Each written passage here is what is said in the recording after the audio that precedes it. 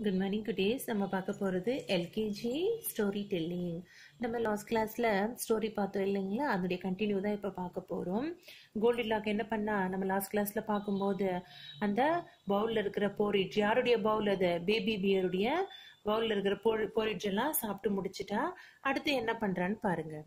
After eating த porridge அதை சாப்பிட்டு முடிச்ச பிறகு Goldilocks walked into the living room there where three chairs Goldilock sat papa Papa chair chair but it was too hard அடுத்து ஒரு ரூமுக்கு போறா. அந்த ரூம்ல வந்து மூணு சேர் இருக்கு. எத்தனை சேர்மா மூணு சேர் இருக்கு.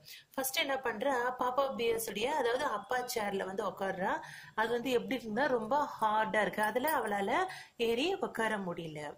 Then she sat on mama bear's chair. அடுத்தது யார் போறான்னா அவங்க அம்மாவோட சேர் இல்லையா? அம்மா கரடி.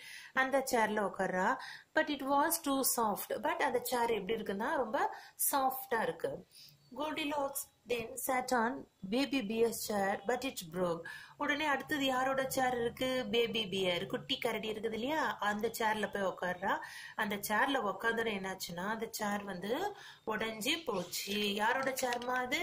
பேபி பியர் குட்டி கரடி இருக்குது இல்லையா? அதனோட சேர் வந்து உடஞ்சி போச்சு.